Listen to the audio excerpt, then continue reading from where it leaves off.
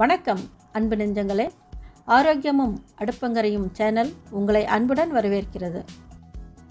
இந்த வீடியோவில் ரிப்பன் முறுக்கு செய்து பார்க்க போகிறோம் வாங்க நம்ம வீடியோக்கு போகலாம்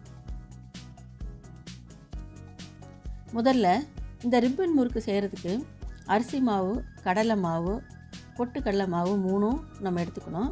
அது எந்த ரேஷியோவில் எடுக்கிறது அப்படின்னு பார்த்துடலாம் இந்த கப்பில் நான் வந்து அரிசி மாவு வந்து ரெண்டு கப் எடுத்திருக்கேன்.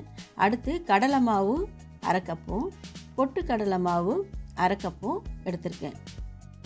அடுத்து நாம் எடுத்திருக்க இந்த மாவு எல்லாமே நல்லா ஜலிச்சு எடுத்துக்கணும். பாருங்கள் நான் நல்லா ஜலிச்சு எடுத்திருக்கேன். அது அப்போது இவ்வளோ குருணை கிடச்சிருக்குது. அதனால் இந்த குருணையோடு நம்ம போட்டு செய்யும்போது நமக்கு வந்து புளியும் போது அது வந்து பீஸ் பீஸாக விழும். அதனால தான் எல்லாமே நல்லா ஜலிச்சு ஒவ்வொரு ஒரு குருணை கூட இல்லாமல் நம்ம சுத்தமாக எடுத்துக்கணும். இது வரைக்கும் மாவு எப்படி எடுக்கணும் அப்படின்னு பார்த்துட்டோம். அடுத்து நம்ம தேவையான பொருளெல்லாம் பார்த்துடுவோம். உப்பு மிளகாய்த்தூள் எள்ளு வெண்ணெய் பட்டர்.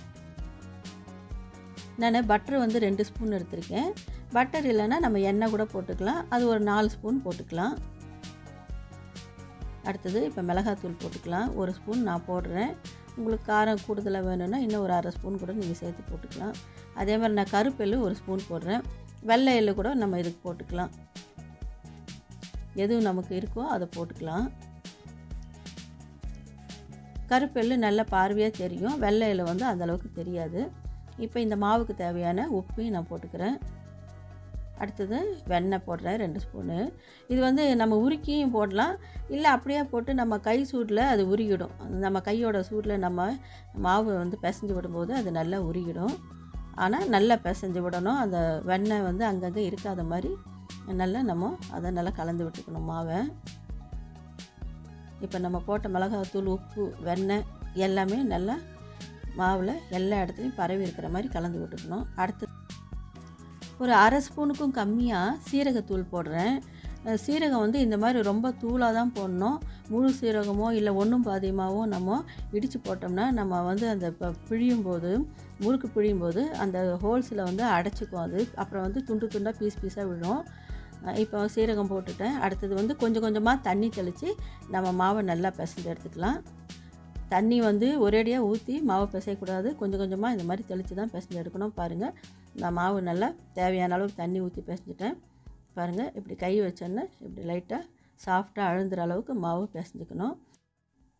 இப்போது நம்ம முறுக்கு அச்சில் ஒரு ஒரு ஸ்பூன் எண்ணெய் விட்டு அந்த அச்சோட எல்லா உள் பக்கத்தில் எல்லா பக்கமும் அது பரவுற மாதிரி நல்லா தடவி விட்டுக்கலாம். அடுத்தது நம்ம இந்த மாவை உருட்டி அச்சில் போட்டுருவோம். அது எந்த அளவுக்கு கொள்ளுதோ அந்த அளவுக்கு போட்டுக்கலாம். அடுத்து நம்ம கடாயில் எண்ணெய் ஊற்றி அந்த சரியான அளவுக்கு சூடு பண்ணிக்கலாம். இப்போ பாருங்கள் எண்ணெய் சூடாயிடுச்சு. நான் வந்து முறுக்கச்சிலேருந்து ரிப்பன் முறுக்கு பிழிஞ்சு விடுறேன். நான் வந்து இதுக்கு வந்து கல்லெண்ணெய் தான் யூஸ் பண்ணுறேன் முறுக்கு நல்லா வெந்ததுனால எண்ணெய் வந்து அடங்கிடுச்சு. இப்போ நம்ம இதை திருப்பி விட வேண்டாம். இப்படியே நம்ம முறுக்கு கம்பியை வச்சு எண்ணெய் உள்ள அழுத்தி விடலாம். இப்படியே அழுத்தி விட்டாலே அதோட மேல் பக்கமும் வெந்துடும் இப்போ முறுக்கு பாருங்கள் நல்லா வெந்து வந்துருச்சு. இப்போ நம்ம எடுத்துடலாம். சாதாரண முறுக்கு வந்து நம்ம சின்ன சைஸில் பிழிஞ்சு விடுவோம். அதனால் அது ஈஸியாக திருப்ப முடியும். ஆனால் ரிப்பன் முறுக்கு வந்து பெரிய சைஸில் பிழிஞ்சு விடுறதுனால அது வந்து திருப்புறது வந்து கொஞ்சம் கஷ்டம். பழக்கம் இருக்கிறவங்க திருப்பலாம். பழக்கம் இல்லாதவங்க திருப்பும்போது மேலே எல்லாம் எண்ணெய் தெரிக்கும் அதனால தான் நம்ம கம்பி வச்சு நல்லா எண்ணெய் உள்ள அழுத்தி விடும்போது அந்த மேல் பக்கம்லாம் நல்லா வெந்துடும். அதுக்கப்புறம் நம்ம எடுத்துடலாம்.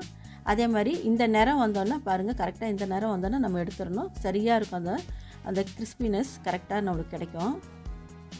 இந்த ரிப்பன் முறுக்கு ரொம்ப ஈஸியாக பிழிஞ்சு விட்டுடலாம் சீக்கிரமாகவே நம்ம செய்திடலாம் இப்போ பாருங்கள் நான் செய்த முறுக்கை நான் உடச்சி காமிக்கிறேன்.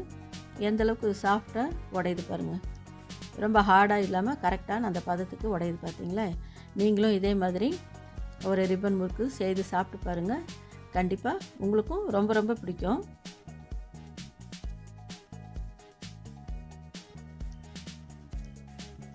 இந்த வீடியோ உங்களுக்கு பிடிச்சிருக்குன்னு நினைக்கிறேன். தவறாமல் லைக் பண்ணுங்கள் சப்ஸ்கிரைப் பண்ணுங்கள் கூடவே பெல் பட்டனை ப்ரெஸ் பண்ணிக்கோங்க. நன்றி.